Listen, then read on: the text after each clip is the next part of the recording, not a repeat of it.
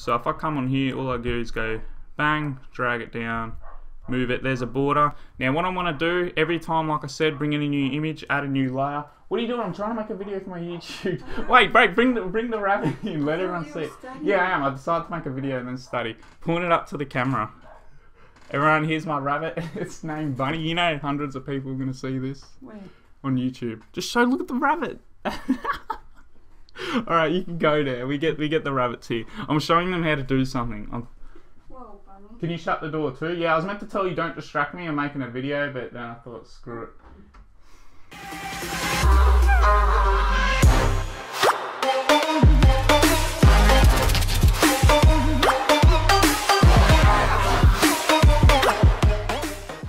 Alright, what's up fellas, Inkee here. So today I'm going to be doing a little thumbnail tutorial because about a week ago now I did upload my Q&A video and in that video I asked you guys if you wanted to see a thumbnail tutorial. A couple of you fellas did leave some comments below on that video asking for a thumbnail tutorial so I thought I might as well do it. Now this is a long due video, it should have been done about a week ago now but I completely completely forgot about it till now. Now I did originally actually make this video already and I uploaded it as unlisted but I wasn't happy how it turned out. It was way too long. I didn't think you guys were going to watch the whole thing. But today I'm going to be doing a video through Paint on obviously how to show you how to make thumbnails. Now, the reason I'm doing this is I know before I started making thumbnails, I was unsure on what software to use and how to actually do it once I got the software. But I highly recommend guys using Paint. That is the software you want. It's a free software, very easy to use. You don't need Photoshop any of that. That costs money. It's a lot more complex and honestly, it's just not worth it. You don't need it. So if you want to download Paint, just go on Google, type in Paint download, click on the first link, bang, you've got it. Anyways, guys, the thumbnail we'll be making today is a video actually uploaded two days ago now. It is this one here, my clip of the week thumbnail. So I'll actually take you through this and how to make it. It's pretty quick, pretty easy. So uh, yeah, we might as well get straight into it. So first things first, when you come into Paint, you want to get a background. I'll just actually move this up so you guys can see. Now, the reason I didn't like that video I originally uploaded is because I had my face cam here in the top right and it was covering everything I was clicking on. So yeah, we're doing this video again. But anyways, guys, first thing you want is a background.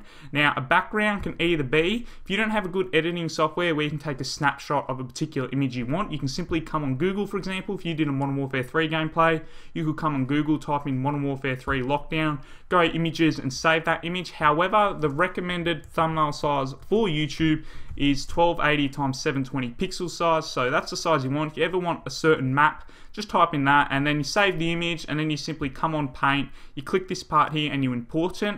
However import it sorry. However I'm not going to be doing that because I do have a pretty cool groovy software here called Sony Vegas. So the reason for this will just this is what I'll be doing to get my background like I said you can get the map. You can get whatever background you want, just type it in on Google, but I'll be getting this one for the purpose of this video.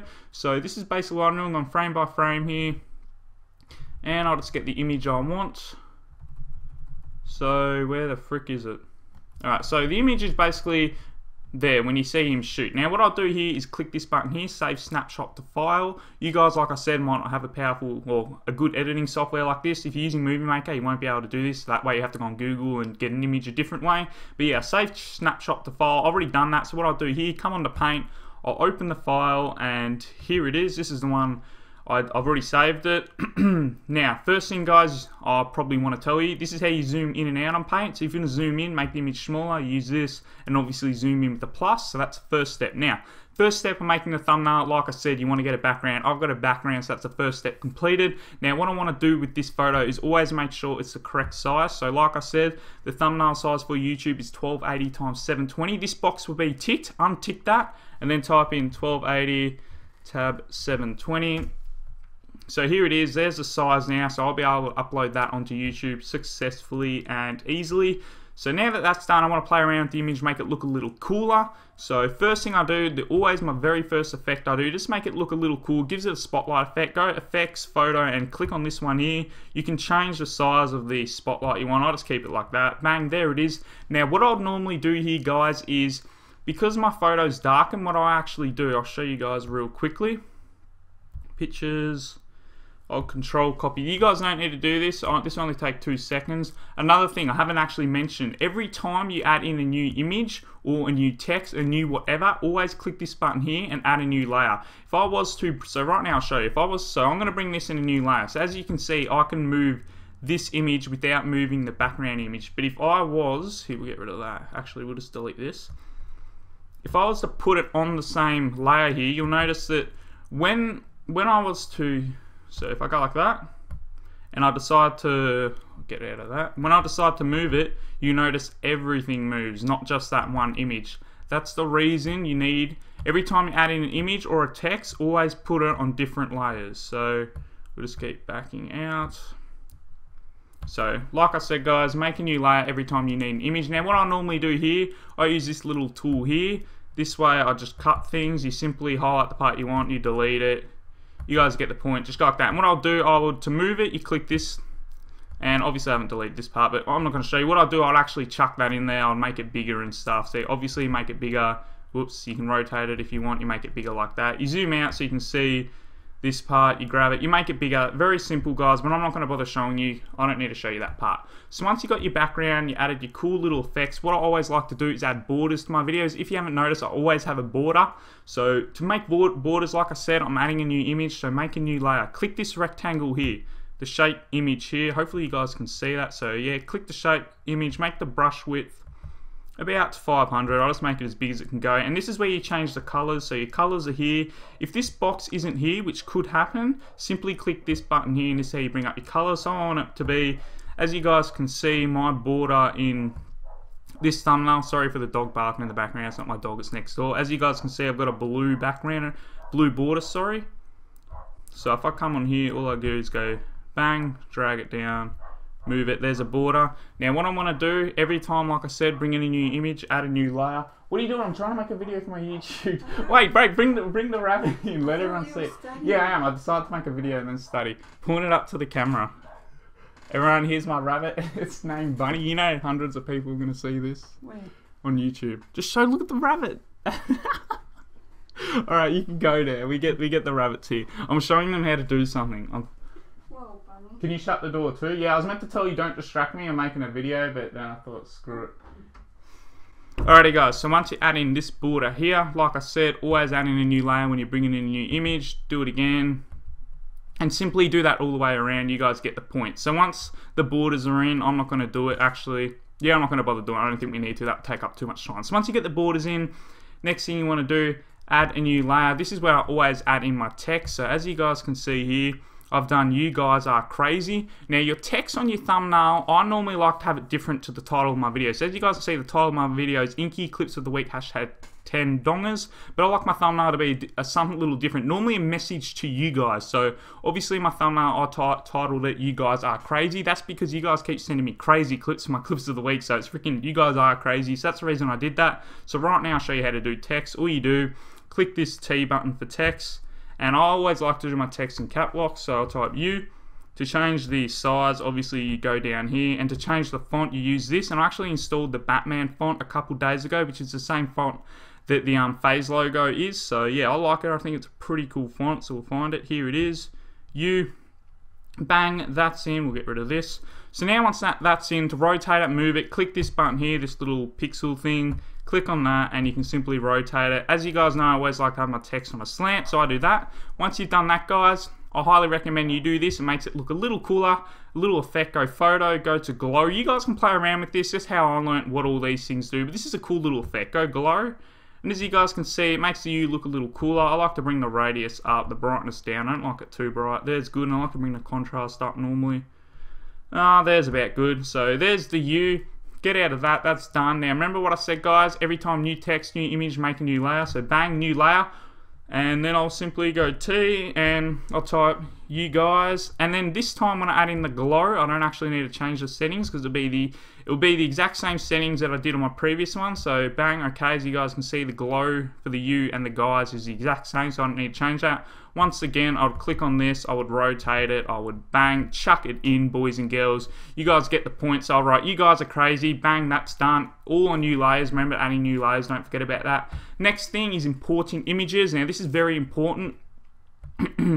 When you guys import images, they must be transparent. So for example, if I were to just type in fire right now, right? We'll get this image, we'll copy it, and oh shit, that's my that's what I'm recording with. Yeah, that's what I'm recording with. Alright, so we'll bring in the new image. Now what you will notice, this is not a transparent image. This is the reason you don't bring in transparent images. What you'll notice is this black part covers up the whole my whole thumbnail. So obviously you can't do that. Every time you want an image, you want an important image, make sure, alright we'll scroll up, make sure you type in so I want fire transparent. It must always be transparent. And that basically means, I'll show you. So this is the one I always use.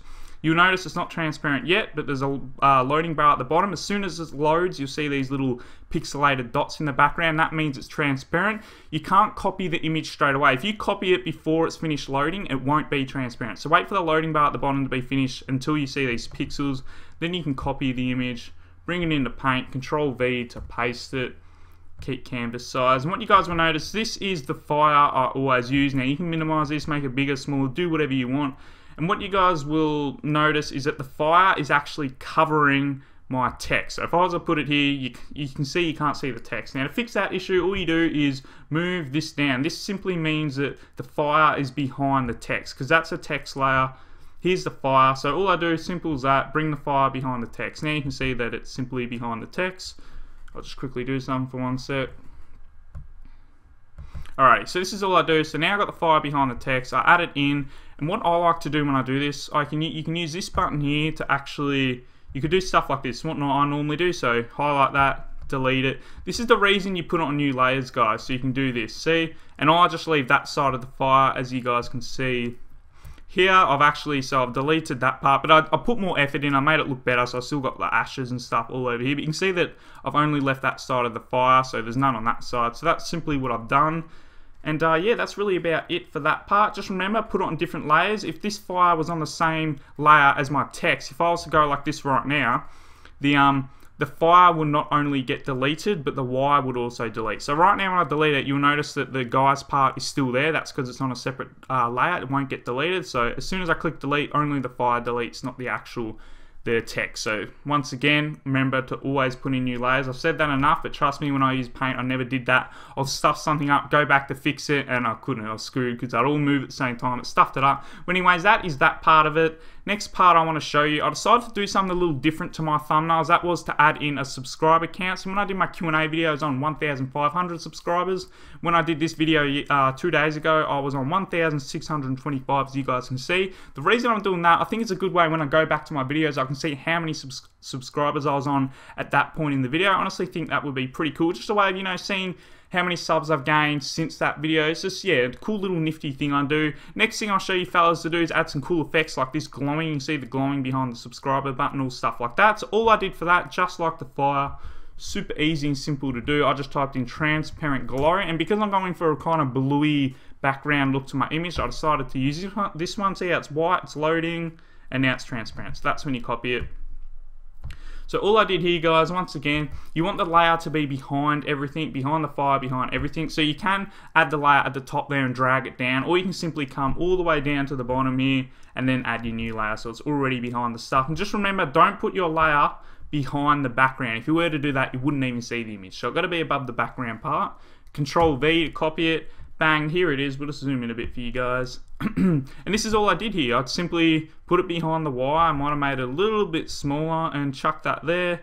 So when you guys come here, you can simply see there's my glow behind the wire. That's all I did, fellas. Obviously, I put more effort into it. And then I got my subscriber button. To do my subscriber part, I just simply went like this. So we'll scroll up.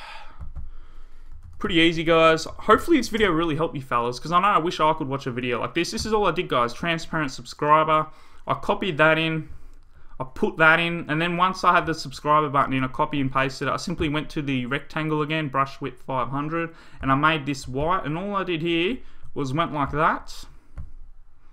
And then, yeah, I just put that in there, and then I once I had the white, so I had the subscriber button here. So you see, I had the doo -doo -doo subscriber button, added in that white rectangle, made it the same uh, width as my subscriber button. And then all I did is put the glow behind it and simply made a new layer. I added text, and then I typed in 1,625. And then obviously I'd make that a different color like black. Also, if you want to add more colors, fellas, simply click more and then look, there's black. And then yeah, simply I made the text small. Obviously I rotated it so it fit there, and that's why I got my subscriber button. So I believe that is it all. Oh yeah, one last thing before we're done. when you save, as you you want to save the image as you go. So as you're going through it, go obviously save as. Save it as a paint file. Don't save it as a PNG or anything. Save it as a paint file. That way when you go back to it, you've got all these different layers here. If you save it as a PNG and go back to it, what will happen? This image will save this image here will save all as one layer. So if you wanted to, for example, come back to this image and decided to move that text or make it a different font, you wouldn't be able to because it's all on the one layer, which means you can either, you have to move all, the whole Im image as a whole. You couldn't move it individually, so make sure you save it as a paint file. That way you have all the separate layers and you can still move it. But once you're done completely and you're really ready to upload it to YouTube, once again, make sure that the image is, is 1280 by 720 pixels. That way you can upload it to YouTube. But all you got to do is click down here. You can save it as a PNG.